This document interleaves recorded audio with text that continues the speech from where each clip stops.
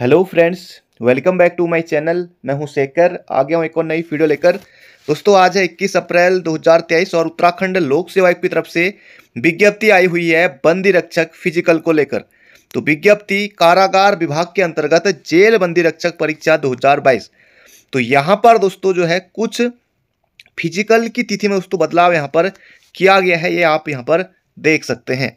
एतद द्वारा सूचित किया जाता है कि विज्ञापन संख्या इतना इतना दिनांक एक नवंबर 2022 द्वारा विज्ञापित कारागार विभाग के अंतर्गत जेल बंदी रक्षक परीक्षा 2022 के सापेक्ष शारीरिक मापदंड एवं शारीरिक दक्षता परीक्षा का आयोजन दिनांक 17 अप्रैल से कुमाऊं एवं गढ़वाल परिक्षेत्र के छह परीक्षा केंद्रों पर किया जा रहा है।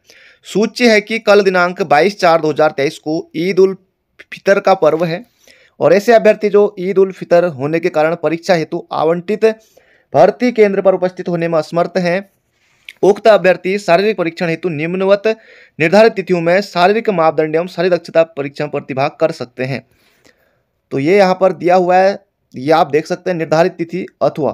तो ये दोस्तों आप देख सकते हैं, सभी के लिए है देहरादून एस डी देहरादून और P S C Ranipur Haridwar, चालीसवीं वाहिनी आई आर बी द्वितीय झाझरा देहरादून।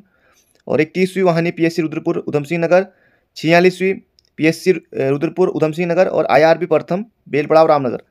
तो ये दोस्तों सभी के लिए आप देख सकते हैं यहाँ पर जिस यहाँ पर दिनांक दी हुई है और अथवा। तो ये आप यहाँ पर देख सकते हैं।